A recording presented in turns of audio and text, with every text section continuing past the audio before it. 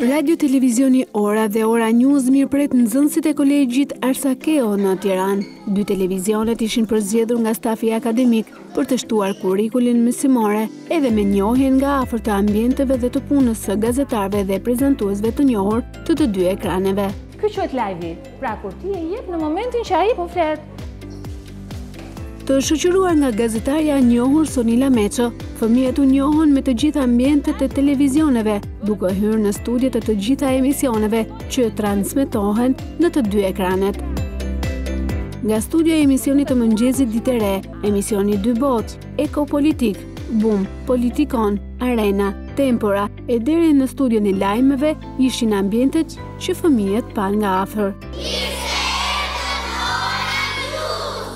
Radio Televizioni Ora mbart histori të suksesshme që prej themelimit të tij dhe kjo ishte një mundësi e mirë për fëmijët për të njohur jo vetëm historinë, por edhe evolucionin e këtij ekrani. Ora para shumë shumë shumë shumë vitesh Fëmijët panë nga afër punën e përditshme të gazetarëve, folësve, por edhe të gjithë stafit teknik. Duhet patjetër që të jenë ata të vëmendshëm, të kujdesshëm, që çdo gjë që del në ekran, ja, live, çfarë ka tani, është ky emisioni?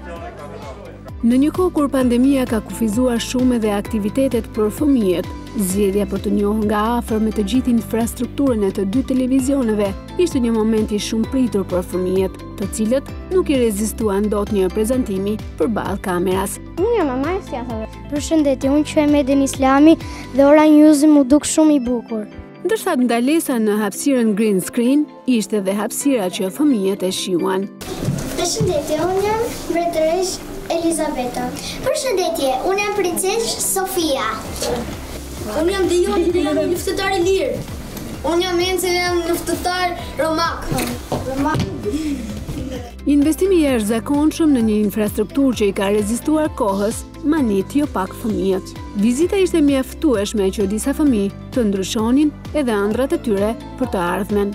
Përshëndetje, unë quhem Alesia Maçe dhe kur të rritem dua të bëhem gazetare dhe të punoj në një vend si Ora News. Në një kohë kur teknologjia ecën me shpejtësi e kur fëmijët janë të lidhur me smartphone apo iPad, media tradicionale është burimi më i besueshëm, referenca më e mirë për të perceptuar botën që jetojmë.